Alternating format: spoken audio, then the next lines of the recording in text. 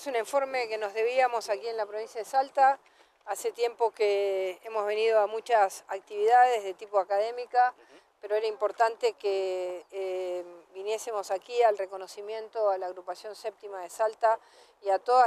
los destacamentos que tiene Gendarmería en Salta, porque el avance que se ha hecho en la lucha contra el narcotráfico, ahí están los números, el, avance que se ha hecho en secuestro de droga, en cantidad de bandas desarticuladas, en cantidad de personas que manejaban bandas peligrosas que han sido eh, hoy eh, apresadas, que las hemos ido a buscar, inclusive con colaboración de Bolivia y Paraguay.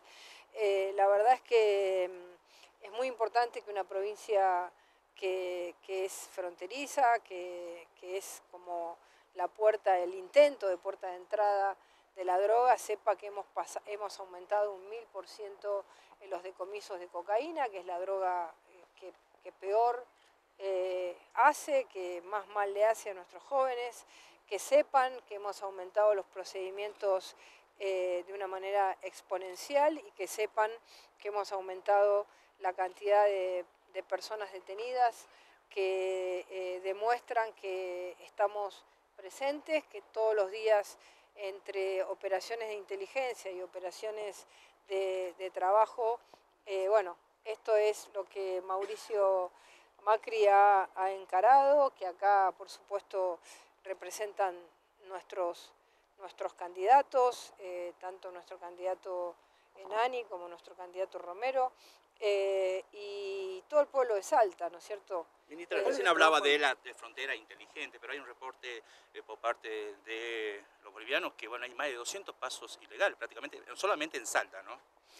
Miren, en Salta con Bolivia, como nunca, estamos trabajando en conjunto, tenemos un centro de inteligencia en común, eh, y la semana pasada hemos hecho varios procedimientos en pasos ilegales y hemos el, objetivo es que la gente pase por los pasos legales, eh, cerrar cada vez más los pasos ilegales y aquellas personas que tienen antecedentes, que este fue un trabajo que se hizo la semana pasada en Aguaray, eh, se le impidió la entrada a 16 personas que tenían antecedentes. Así que eso se está haciendo y con muy buena colaboración de parte de, de Bolivia, donde tenemos un centro de inteligencia en Santa Cruz, común entre Bolivia y Argentina. Y creo que vamos a tener muchos avances más porque ya eh, eh, en Bolivia el hecho de que haya más cosecha de la que necesitan quizás para el coqueo, que es algo que todos se conoce que eh, es tradicional, ha traído muchos problemas inclusive de violencia y ellos mismos nos han pedido un trabajo en equipo.